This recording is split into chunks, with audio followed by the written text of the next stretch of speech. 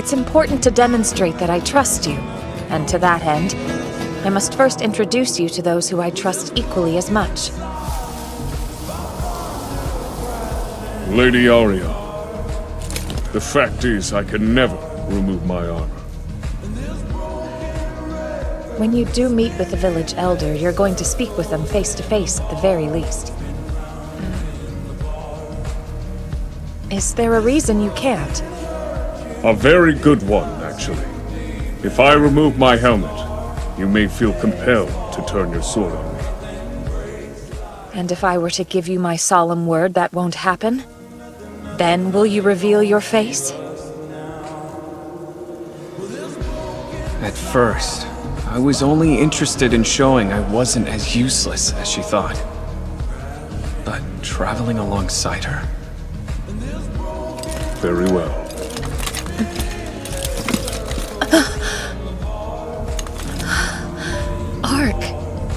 Happened to you?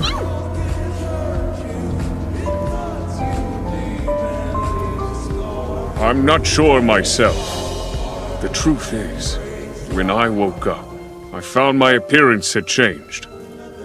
Most likely from a curse. It's either that, or I tell her I got transported to this world looking like my video game character. Which I doubt she'd understand. Hmm. If you were truly undead, then you'd have the corruption of death. Basically, you couldn't use healing spells or the power of light to break curses. Not to mention, a spirit creature wouldn't be as attached to you as Ponta is. so listen, Arc. Without fail, you've continuously lent me your strength and helped save my dear comrades.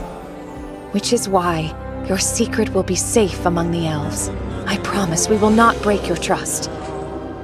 Furthermore, if your appearance was caused by a curse, it's possible the Elder may have some knowledge how to lift it. That would be wonderful. I want nothing more than to be rid of this hex. To resume a life where I can show my face. Then it's decided.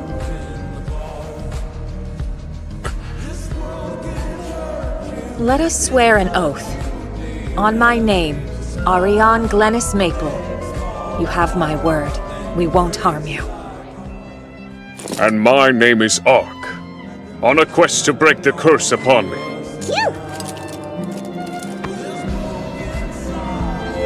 I am at your disposal, my lady. What a twist. Here I am, on a journey to break the spell I originally invented as part of my character's backstory.